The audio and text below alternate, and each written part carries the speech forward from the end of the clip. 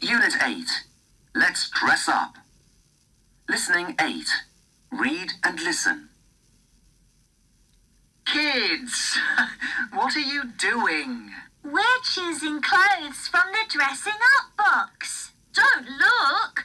It's a surprise. I want a hat.